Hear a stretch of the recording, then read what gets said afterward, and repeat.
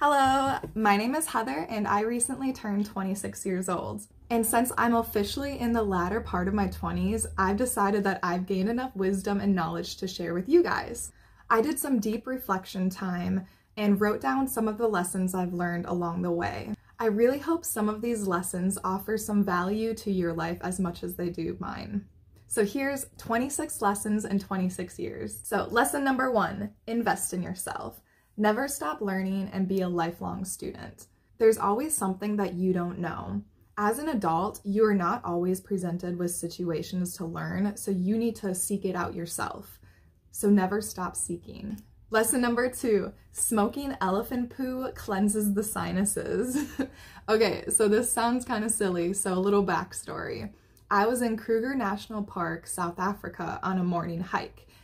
Our guide picks up some elephant poo, which is essentially just dried vegetation, right? So we all huddle around him and he brings out a lighter and he lights it on fire and start it like starts bringing the smoke up and he's like inhale it inhale it and we're like what and i was like okay whatever when in rome right i, I inhaled and it indeed cleansed my sinuses to this day i don't actually know if he was just messing with us because we're tourists or if it's an actual remedy people used to use or still do. Either way, it's a good story and something I can use in two truths or a lie. Number three, minimalize. Simplifying your life, both physically and mentally, will leave you with so much more space for the things that are actually important in your life. Number four, read books. My ongoing personal goal for myself is to read one book per month. And so far, I've been doing pretty good at that. It's great. So, yeah, read more books.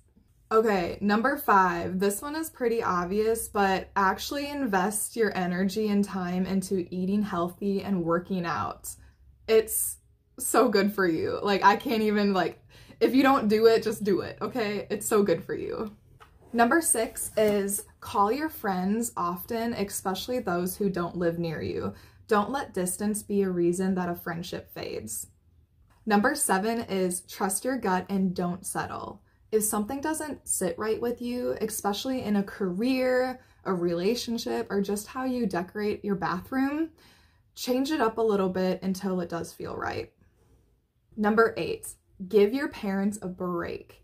They are humans too, just like you and I, and blaming them for the wrong things in your life is just not productive.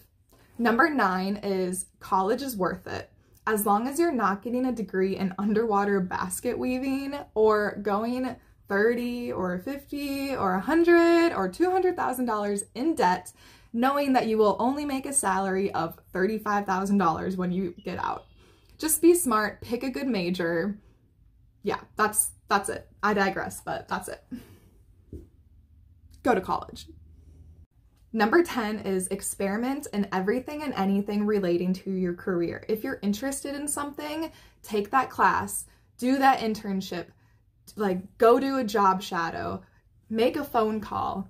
I have a friend in the fashion industry and when she was in college, she actually emailed one of the buyers for Macy's and got a response. Just remember that successful people love helping people. You just have to be the one to reach out.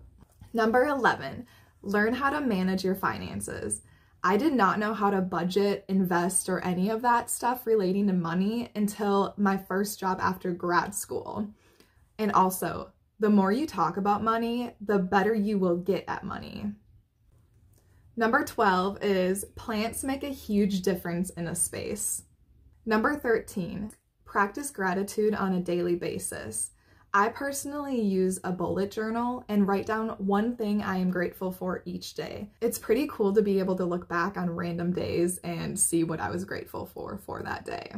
Listen more and talk less. Instead of thinking about what you're going to say next, focus on actually absorbing and understanding the information the person you are talking to is saying. Number 15, focus only on what you can control. Everyone has complete control over two things, their work ethic and their attitude. Watch your screen time, especially when you're by yourself. In high school and college, Choose your friend over the stupid drama filled boy. Trust me. Can you tell that there's like anger in that? Yeah. But, um. Number 18. Know that not all friendships last. You are the average of the five people you spend the most time with.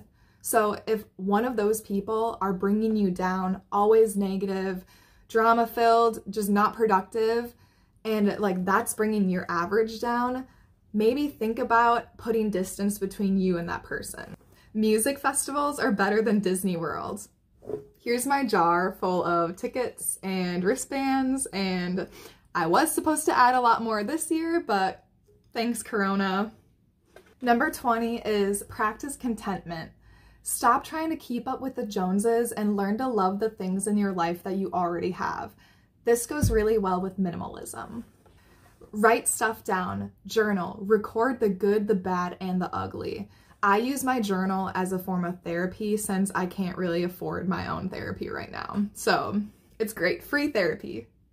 Learn to be alone and love it. You gotta live with yourself for the rest of your life, so you might as well just have fun with it. Or, you know, you could always just get a cat. Kaya. get a cat too. But learn to love being alone. Number 23 is stop saying sorry and start saying no. Move out of your hometown, even if you love it. Move to a different city, and after a year or two, if you decide you hate it, you know you can always move back to your hometown. It's great character building for sure.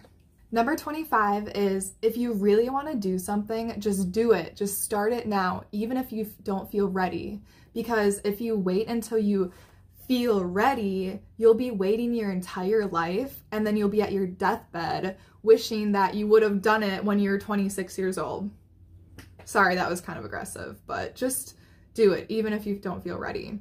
One small step will give you the momentum to keep going and the confidence to keep going and then you'll be doing it. You'll be doing what you've been wanting to do. I don't know what that was. and number 26, last but not least, is know that you are doing the best you can possibly do at this moment of time in your life right now. So that's it. That's 26 lessons in 26 years. I hope you guys enjoyed this video and I encourage everyone to do this exercise on their next birthday. It's pretty fun and thought-provoking. Please like and subscribe to my channel. I plan to put up more videos, so keep a lookout for that. Thank you guys. Have a great day. Mwah.